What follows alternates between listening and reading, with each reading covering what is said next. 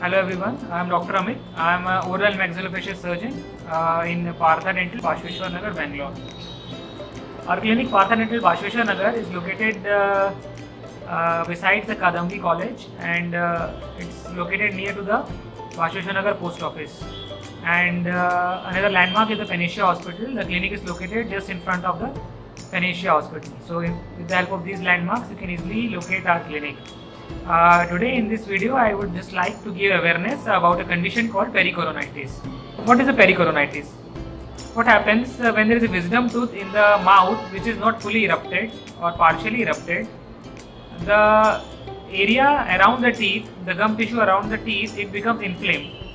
Why this happens? This happens because uh, we are not able to clean that area since it is the posterior most area. We are not able to clean that area during brushing and uh, because of which there is uh, deposits of uh, food debris and uh, is quite common in that region.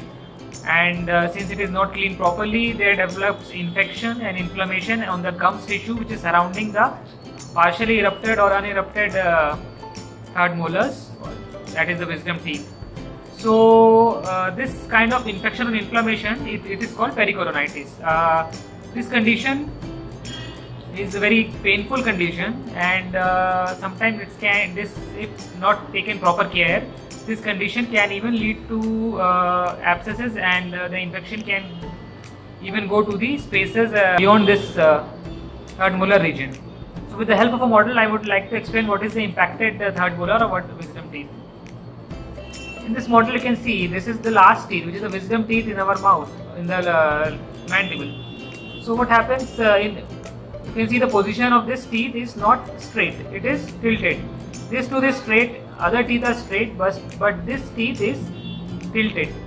Uh, so whenever the condition is like this or you can see here is another example this teeth you can see it is horizontal completely it is the other teeth are vertical but this teeth is lying horizontal.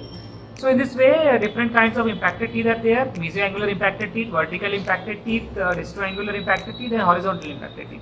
So whenever this kind of teeth is present, what happens, the gums and the gum tissues around this teeth uh, is uh, deposit as I already told you, food debris is deposited and the area is not properly cleaned, so infection develops in the gums and the tissues around this teeth due to which uh, operculum uh, may develop and uh, painful condition and infection develop which is called pericoronitis. Uh, so this is all about pericoronitis and now the treatment part. The treatment part, the ultimate treatment should be removal of this teeth as this, this teeth uh, is vestigial. It is uh, not helpful in uh, any, it does not perform any function. It does not uh, helps in chewing of the food. So it is better if we remove this teeth because of the position of this teeth only the problem is happening. So the treatment is removal of this teeth. So uh, the removal is a very uh, small uh, minor surgery. Uh, the area is, it is completely painless procedure. The area is anesthetized and after that we surgically remove this teeth out. And uh, after healing, the patient is uh, normal. He can chew all kind of food and he, there is no other complication associated with this surgery. So this is all about pericoronitis and the treatment for this condition.